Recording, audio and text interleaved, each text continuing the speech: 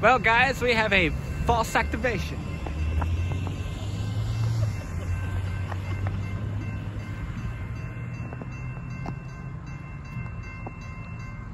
I've seen a lot of malfunctions, but this takes the cake.